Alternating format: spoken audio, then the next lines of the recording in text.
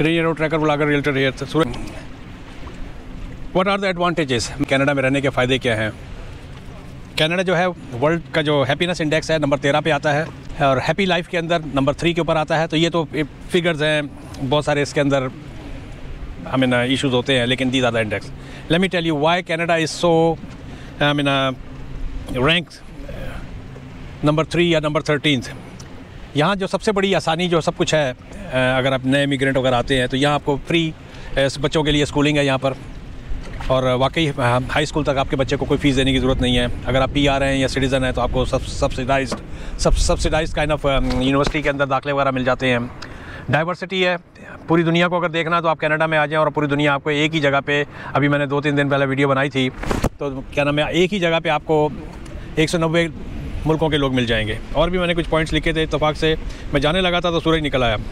अच्छा इसके बाद है पब्लिक फंडेड हेल्थ केयर दो इसके ऊपर बेतहाशा बातें हुई हैं कि जी स्पेशलिस्ट का अगर टाइम लेना हो, या ऑब्वियसली सर्जन से या आपके फैमिली डॉक्टर अगर आगे आपकी अपॉइंटमेंट करता है तो उसमें बहुत ज़्यादा टाइम लगता है। लेकिन उसके बावजूद उसके बावजूद कई बीमारियाँ ऐसी होती हैं, अगर आप किसी और मुल्क में इवन अमेरिका में, या पाकिस्तान में है या कहीं भी हैं anywhere else in Canada थोड़ी सी एमरजेंसी में इसमें उसमें तकलीफ़ होती है but it's totally totally free तो that's a one major major point कि why Canada is a good place to live diversity culturism safety and peacefulness इसमें कोई शक नहीं गो क्राइम बढ़ चुके हैं, लेकिन it is one of the most safest country in the world I can say that America का इसका कोई मुकाबला नहीं है when it comes to safety Europe के कई मुल्कों का इसका मुकाबला नहीं है when it comes to safety it's a very safe country अगर मैं बहुत ज़्यादा डिटेल में जब मैंने लिखा हुआ था तो सूरज इतने में गुरूब हो जाएगा। अच्छा बेतहाशा सोशल सर्विसेज़ है। सोशल सर्विसेज़ के अंदर मैंने क्या लिखा था? क्या नाम है गवर्नमेंट की तरफ़ से आपकी जो है ना बेतहाशा एम्प्लॉयमेंट इंश्योरेंस जिस तरह ई आई प्रोग्राम्स वगैरह हैं, अगर कल को आपको अनएम्प्लॉयमेंट वगैरह हो जाती है तो आपके ई आई प्रोग्राम से आपको गवर्नमेंट फंडेड जो है आपका एजुकेशन ले सकते हैं। आपको जिस तरह मैंने भी सिटीजनशिप का कोर्स का इमिग्रेशन का कोर्स किया था गवर्नमेंट ने, मुझे सिर्फ़ स्कूल जाने की देर थी, बाकी सारा स्कूल वाली की जो एडवाइज़र थी, उसने किया था, नौ हज़ार डॉलर का मुझे जो है ना ग्रांट मिल गई थी, और मैं एक पैनी भी मैंने उसका पे नहीं किया। इसके अलावा बेतहाशा चीज़ें हैं। रिटायरमेंट के ऊपर जिस तरह आपका है कनाडा सीपीपी प्लान है कुबैक पेंशन प्लान है, और कनाडा हाँ सबसे बढ़कर सबसे बढ़कर चाइल्ड बेनिफिट चाइल्ड बेनिफिट अगर आपके दो बच्चे हैं तो पंद्रह सौ तक बच्चे ही आपको जो है ना आपका किराया घर का निकाल देंगे। I am just making giving you bit advantage advantage of that कि it is really really on the top of everything जिस तरह मैं यहाँ पर आप आया हूँ scenic beauty you really love to मैं, मुझे यहाँ से निकलने का दिल नहीं कर रहा, हालाँकि मुझे अब आवाज़ें पढ़नी शुरू हो गई हैं, ऊपर से सूरज भी गुरूब हो रहा है और लेकिन सीनिक ब्यूटी में even Canada is home to 37 national park Canada is known to 37 इसमें including the Banff national park इस दफ़ा वो कैलगरी के पास का इलाका है, चार घंटे की, वहाँ से गालबन ड्राइव है। कैनेडा अगर आप आते हैं तो आपके पास क्या टिप्स होने चाहिए? किस तरह आप यहाँ पर सर्वाइव कर सकते हैं? क्या यहाँ पर नॉर्म्स है? नाम से मुराद ये कि what people expect from you to turn it into it. अच्छा। तो पहली चीज़ ये है कि be polite you should be polite when you come to Canada use the words अच्छा there are some words what we call it magic words these are please sorry thank you excuse me so these are just the magic words जो यहाँ पर आम दिनों में everybody use it और अगर आप ये किसी भी मसले में कहीं भी आप फंसे होते हैं तो ये किस्म की चाबी है ये। If you use, hurt somebody, not in a real sense, hurt hurt. जरा सा धक्का लग जाए सॉरी या थैंक यू या please so you should use these magic words अच्छा एक यहाँ पर जो हम पाकिस्तानी जो है ना जो वहाँ से आते हैं तो हमारे अंदर जो एक चीज़ है ना कि जिस तरह अगर कहीं दावत पे दस बजे पहुँचना तो हम बारह बजे पहुँचते हैं। Canadians love to be on punctual you gotta be punctual you gotta be on time अगर आपका इंटरव्यू दस बजे है तो ट्रैफ़िक को मद्देनज़र रखते हुए अगर आप कहीं भी जा रहे हैं तो you should at least give a little bit time और अ, ये ना हो कि दस बजे का आप सवा दस बजे पहुँचो you should be there fifteen minutes to ten और मैंने अपनी अपनी ज़िंदगी का असूल बनाया हुआ है कि मैं कहीं भी पहुँचूँगा, मेरी कोशिश होगी कि फिफ्टीन ट्वेंटी मिनट्स पहले ही मैं पहुँच जाऊँ। अच्छा।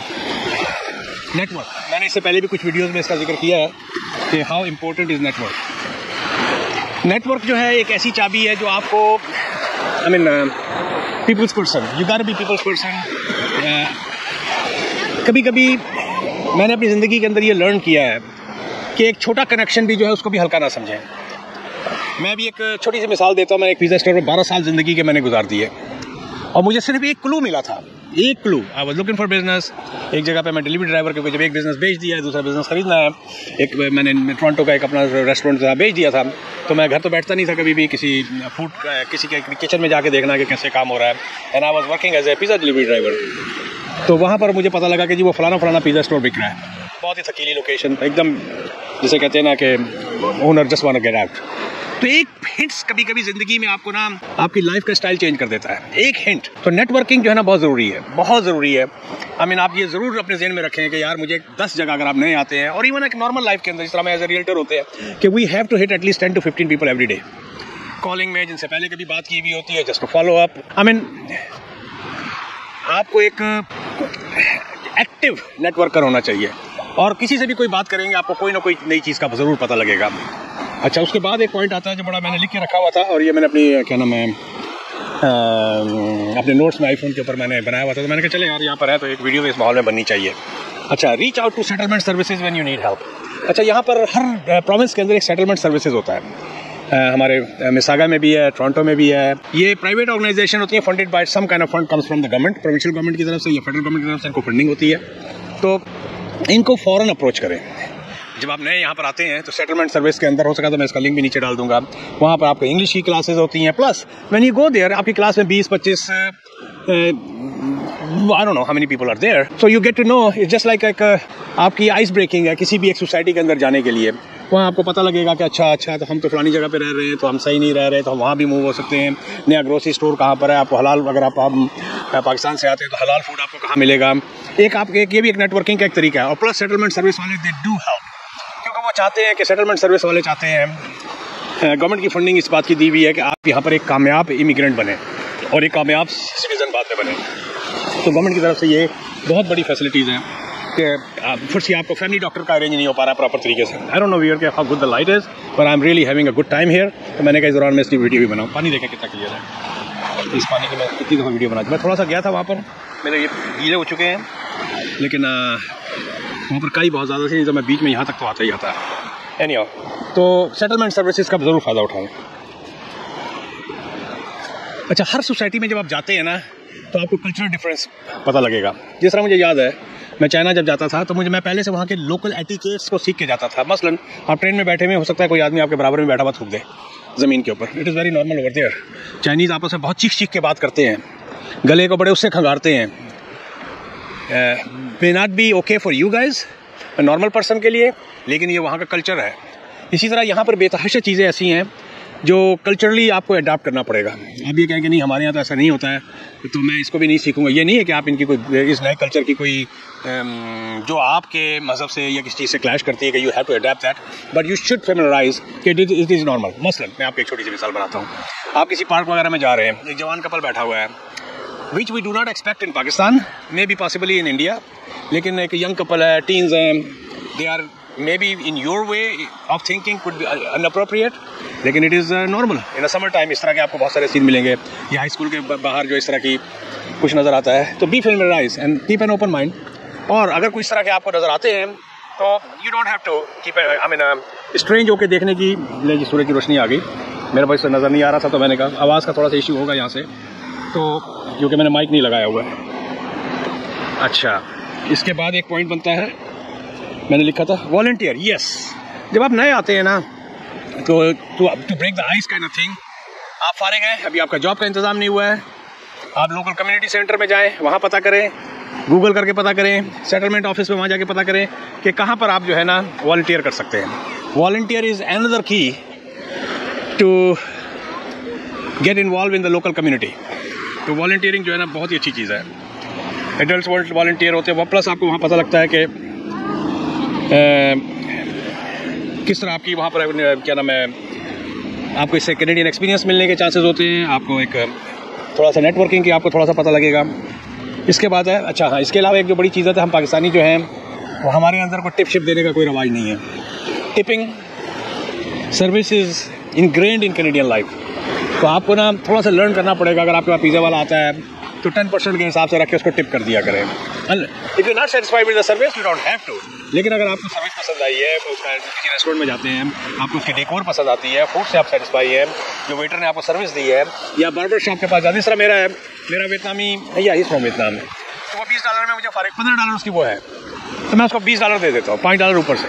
And he is always happy even कितना भी रश लगे कि इससे आपको एक्स्ट्रा सर्विस मिलती है नेक्स्ट टाइम उसे पता लग जाता है कि ये बंदा जो है ना मेरी सर्विस देता है अच्छी।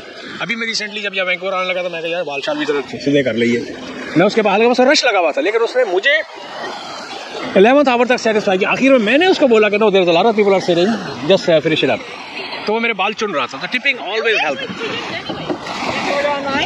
tipping always help मुझे यहाँ से जाने का दिल नहीं चलिए फिर और थोड़े से रह गए पॉइंट जो मैंने लिखे थे।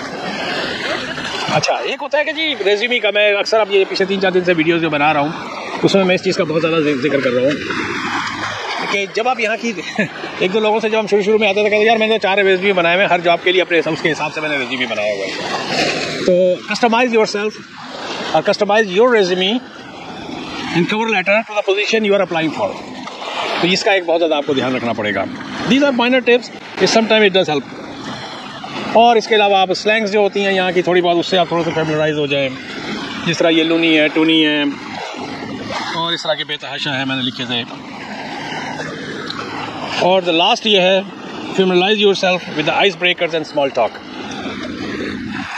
कहीं भी जाते हैं, मेरी आदत है। मैं अभी बस स्टॉप पे था, या न्यून सेंटर पे, यहाँ पर न्यून सेंटर ही है मेरा ख्याल है, जहाँ पर बस से उतरा हूँ। तो मैंने उससे मैंने सिर्फ उसका यूट्यूब का वीडियो आई मीन इंटरव्यू नहीं लिया था मैं कहा भाजी नवे आए हो हाँ जी नवा आया किन्ने का चेर हो गया भाजी नौ क महीने हो गए भाजी कितनी फीस लेके आए हो ਤੁਸੀਂ ਕਿੱਥੇ ਦੇ ਹੋ ਆਪਾਂ ਜੀ ਮੈਂ ਆਪਾਂ ਪਟਿਆਲੇ ਦੇ ਆ ਅੱਛਾ ਜੀ ਡੂ ਯੂ ਰਿਮੈਂਬਰ ਘਰ ਦੀ ਯਾਦ ਆਂਦੀ ਹਾਂ ਜੀ ਬੜੀ ਘਰ ਦੀ ਯਾਦ ਆਂਦੀ ਹੈ 40 ਘੰਟੇ ਤੋਂ ਉੱਤੇ ਕੰਮ ਕਰਦੇ ਹੋ ਨਾ ਜੀ ਤਿੰਨ ਦਿਨ ਸਕੂਲੇ ਜਾਈਦਾ ਹੈ ਤੇ ਬਾਕੀ ਕੰਮ ਕਿੱਦਾਂ ਕਰੀਏ ਤੇ ਇਸ ਤਰ੍ਹਾਂ ਕੀ ਹੈ ਨਾ just ice breaker and he opened it up and he asked me tons of questions and we became by the time we got to the um, king george station we were very just like talking like a close friend be open up up yourself.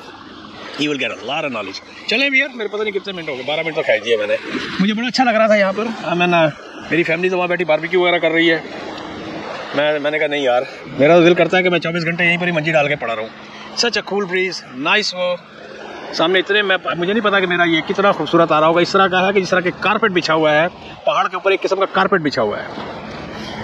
ये है जी Vancouver की life if you really into अगर आप nature lover हैं you should be in Vancouver so nice चले भी यार। वीडियो दो तीन बना दी है मैंने। तीन चार दिन का मेरा कोटा तीन चार दिन का मेरा कोटा पूरा हो गया। है चले भी यार मेरे चैनल को सब्सक्राइब कीजिएगा। आपको नई नई बातें यहाँ की पता लगेंगी।